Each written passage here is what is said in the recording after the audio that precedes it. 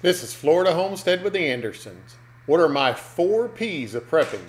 Stick around and find out.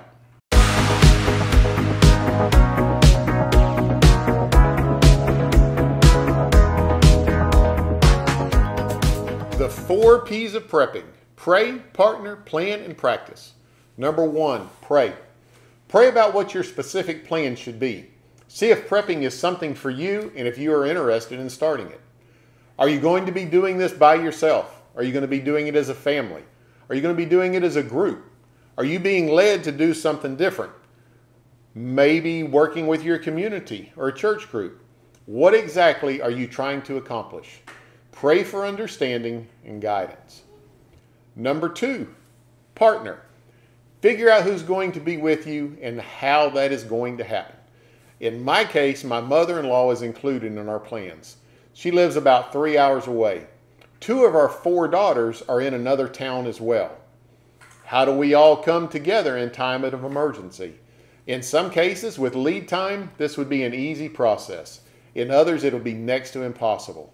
Know these things before the event. Make sure that those included are all on the same page. Give them something to do.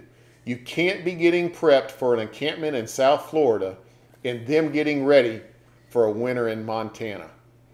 Everyone needs to know what to expect and what their part is in making that happen. Number three, plan. You need to know what you're prepping for. Most likely, you are prepping for more than one event. The water you may have on hand for an SHTF plan will be the same water you will need for your well goes out over if your well goes out overnight. The bug out plan for severe storm may be the same as a train derailment dumping hazardous chemicals. You don't need a plan for every situation. You need a plan that works and that you can build on. You also need to plan on the fundamentals. I asked Chat GPT the other day, what are the top five most important things to consider when becoming a prepper?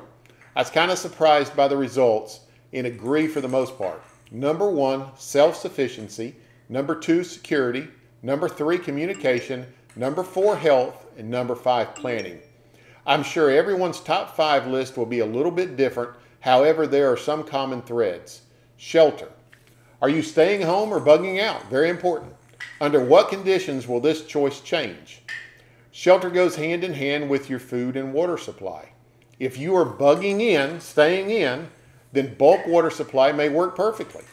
If you're bugging out, then you'll need to be mindful of what you can carry on your person and then have provisions to treat water or to um, filter water in the field. Same idea for food source. Bugging in, you may have a stockpile of food. If not, then you need to plan on other things, such as hunting.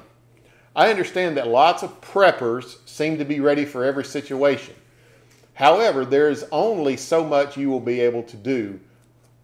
This is where it becomes important to build flexibility in your plan, and then you will see how important each step is in building on the step before. Number four, practice. Practice makes perfect. You won't be able to practice everything, but you can at least have an idea in your head what may or may not work and how you plan on executing it. I understand that physically running through the steps may be important for some, but as I said, it may not be practical. Crawling around your neighborhood wearing a gas mask, shooting squirrels out of the trees may not go over very well in your gated HOA. But walking the area out with your spouse as an evening stroll, talking about your plans, and seeing the environment will fulfill the practical aspects of this to some degree. Prepping is full of personal ideas that each of us must determine for ourselves. There are lots of things to consider, many different situations that none of us will be able to foresee. This is something that, as a family or a group, needs to be discussed and prayed over to determine what works best for you. Above everything else, I believe the most important part of prepping is ensuring that you have a relationship with Jesus Christ and that you know upon know upon know that no matter what happens here on this earthly world, that you have a kingdom waiting for you and those closest to you in heaven. This is the only preparation you really need. Prepping your soul for eternal life. Have a great day and God bless.